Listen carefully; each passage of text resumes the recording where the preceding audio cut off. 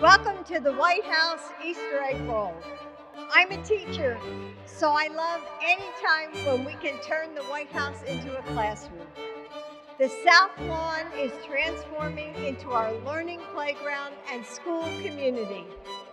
And there's so much to discover. Listen to a story in the reading nook. Did you have fun? And we had a great time. Yeah. Explore space. Write notes to our troops. Take a field trip to a farm. Hunt for dinosaur fossils and so much more.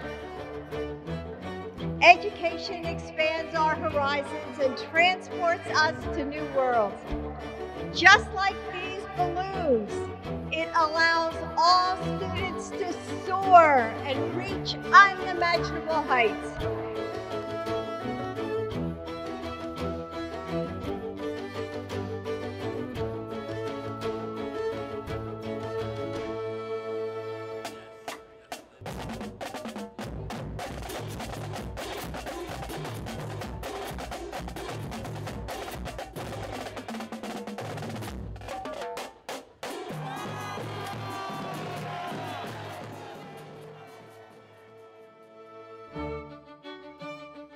When I blow the whistle, you guys get started, okay? You ready? Get set. Go. Easter reminds us of the power of hope and renewal, sacrifice and resurrection, but mainly love and grace. I've never been more optimistic about America than I am today.